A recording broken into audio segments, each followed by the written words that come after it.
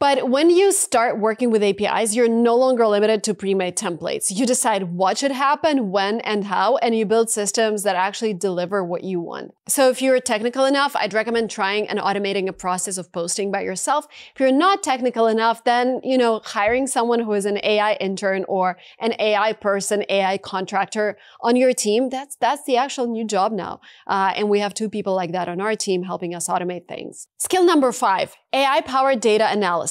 We live in a world where everyone has access to data, but only those who act on data win. We try to quantify every process in our company. And there are AI tools that allow you to go beyond just reading tables. They help you identify patterns, extract insights, visualize, and even forecast outcomes faster and deeper than manual analysis. So for example, we have a spreadsheet with video views over the last three months. Instead of summarizing it manually, we feed it into an AI model and it identifies which days of the week get the views, suggests the best video length for our channel, recommends topic ideas likely to boost traffic, generates a dashboard with charts instantly,